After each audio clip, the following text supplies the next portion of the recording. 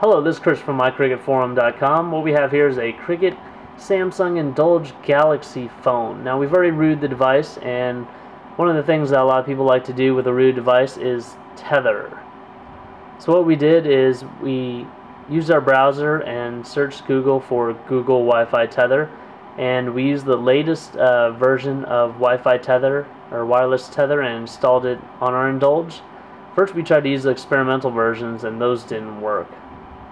Now once you launch the application, just hit the start tethering. It's going to ask you for super user permission the first time and you're going to want to allow it.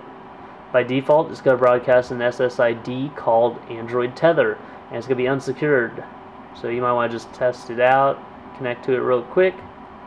It's going to come up that the device was connected with the MAC address on there. And here's our forum. Let's click on new post.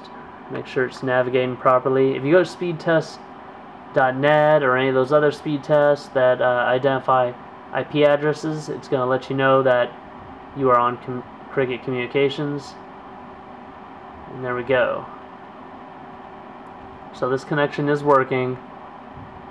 Very helpful if you go to a hotel, for instance, that doesn't have Wi-Fi or any other place and you need a little bit bigger device to uh, do work or for your entertainment.